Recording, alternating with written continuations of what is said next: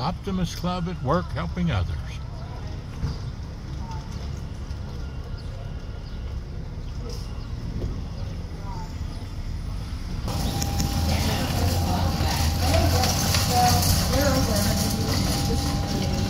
Optimist hard at work.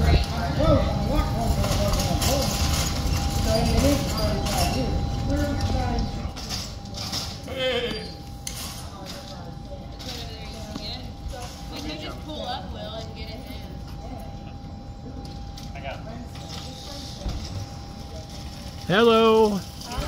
How you doing today?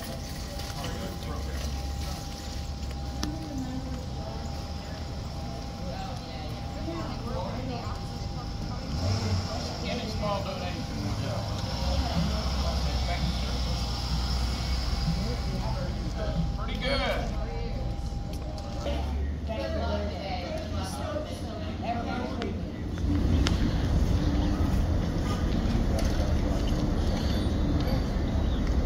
What particular You?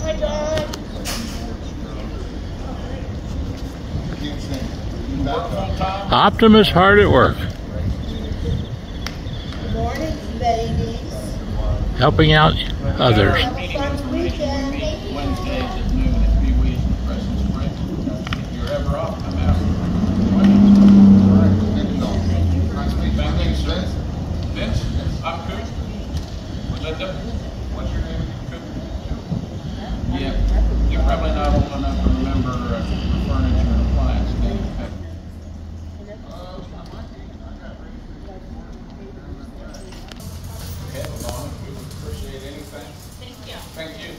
Now, what are we doing here today? Well, we're here with the Optimist Club of Covington, who happens to be going to celebrate 100 years. Not everybody's 100, but we're getting close to it. And uh, we are creating more opportunities for the youth in our community. And we just want to collect some funds to do some fun things. hundred percent of your money will be donated to youth projects in the next ten days. So Louis wants to see a kid or two go to Camp Ernst, have some fun. that's, Um, what, that's what we just And this is what this is all about today. We also have things that we're working with with the schools, like Art in the Box. Um, we're gonna be doing essays. You can push all those at one time? Um, and, uh, just- we meet every Wednesday at Pee Wee's in Crescent Springs at noon to one. We have guest speakers, guest politicians, we have lunch, and it's a real friendship type. I just joined recently, and I'm a very optimistic person. So if you want to meet with us on Wednesday and bring in a donation, someone will be there. Thank you. Right. And just remember, everybody loves somebody sometime. Oh, Makes no difference when or where or how. Everybody loves somebody sometime, and it's the Optimist Club time right now. God bless you all. Red, yellow, brown, black, and white, we're all precious in Jesus' sight. Give us a little donation here today, folks. God bless you. Hang in there. Have a nice day now. We're sending underprivileged children to Camp Ernst. Does that, does that age me or? All right. One of, one of the Monday morning. One of the most important things you do for all of us is your job. We love you. God bless you. Louis. Louis is awesome. He's been. Erlanger, How long have you been Fire. a member of the Optimist? fantastic. Oh my gosh. I used to have the little seven mile house up here. You all are probably too young to remember it. Oh, thank you so The seven mile house and where they got the little garden up there now. I donated that land there for them to put that garden in. Oh, really? Yeah.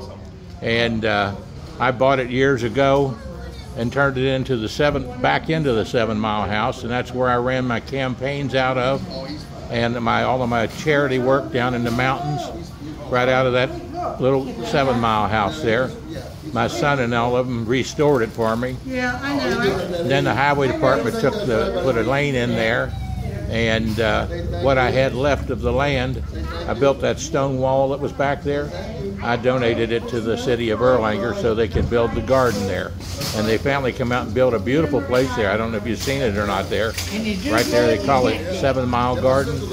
And uh, yeah, that's what uh, I did back in years ago. I used to do my radio show out there called Education Today. I taught school at Erlanger, uh, government and history. Now give me your all's names. What's your name, sir? Danny. God bless you and your work and tell all the other firemen that we love them and we appreciate what they do. Thank you. Thank you. Take care. Collecting to help children.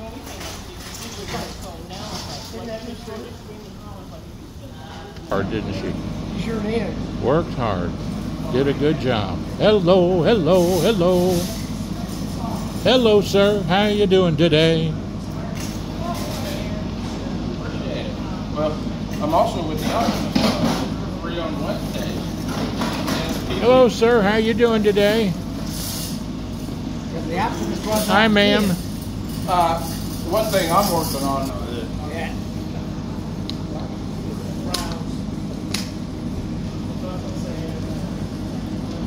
but yeah, Cool, you guys doing things for Got where- whichever one you want to sit in. Well, you guys got this one covered, there's only one person down there, so it looks like all the building, And it's very nice. God bless you. Don't have any money at all. Thank you now.